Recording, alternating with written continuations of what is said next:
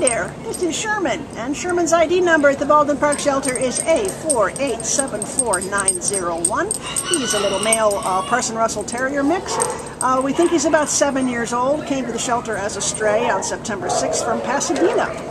He weighs about 14 pounds. He is adorable, and I've been watching him. He seemed to get along. Was interested in other dogs, right, Anna? Oh yeah, he went up to them no problem. Even ones that were like ten times his size, Yeah. he was happy to go say hi. Yeah.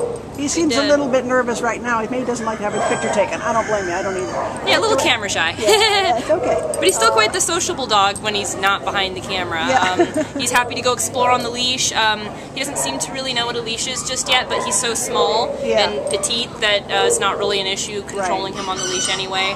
Um, he did show signs of being housebroken, so Yeah. that's that's Yeah. pretty good. Um, and he's also a very quiet, reserved little guy. Um, I, I don't think that he would uh, have any problem being a lap dog at someone's home or uh, a couch potato dog or something. But Well, he's still he's- got some energy in him for seven years old. I mean, that's nothing for Oh a small no! dog. Oh, so. no, he's got at least that much left, and uh, so he's probably not a dog who's used to going for big long walks because he doesn't know what a leash is. But No, so no. he's a good house companion. He's a good lap dog.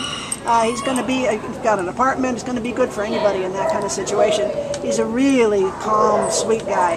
Come on down to meet Sherman because uh, we don't know what his story is. He just ended up here, and it's always bad because it's noisy and awful. But he's doing pretty well. He's got. He's very um, calm. And, yeah, he's a good boy. So come on down to meet him and take him home with you, please, because he needs new friends. Okay, baby.